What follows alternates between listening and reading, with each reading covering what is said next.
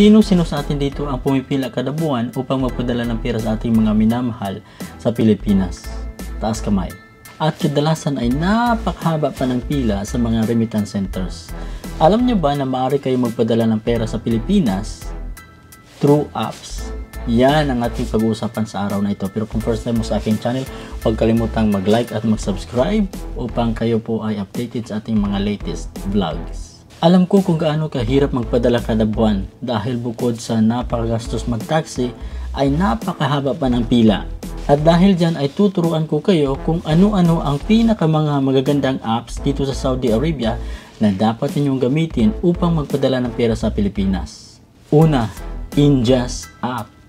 Sino ba ang hindi nakakakilala sa India's remittance centers na naglipana sa buong Saudi Arabia? Ang India's remittance centers ay pagmamayari po ng Al Bilad Bank, isa sa pinakamalaking bangko dito sa Saudi. Ang India's remittance centers ay isa sa pinakasikat na remittance centers dito sa Saudi Arabia. Sa mga hindi po nakakaalam, ay meron din po silang India's app na maari nating gamitin upang magpadala para sa ating mga minamahal sa Pilipinas kada buwan. Bukod sa hindi ka napipila ay hindi ka na rin gagastos para sa iyong pamasahe papunta ng remittance center. Pangalawa, YourPay. Isa sa pinakabagong app ngayon dito sa Saudi Arabia ay ang tinatawag nating YourPay. Ang YourPay ay pagmamayari ng isa sa pinakamalaking bangko dito sa Saudi Arabia, ang Al Rajhi Bank. Ang Al Rajhi Bank din ang nagmamayari sa isa sa pinakasikat na remittance center dito sa Saudi, ang Tahawil. At sa kasalukuyan, ang isa sa pinakabago nilang remittance app ay ang YourPay. At napakadali din gamitin ng apps na ito. Panghuli ay walang iba kundi ang STC app. Sino ba sa atin dito ang hindi nakakakilala sa STC?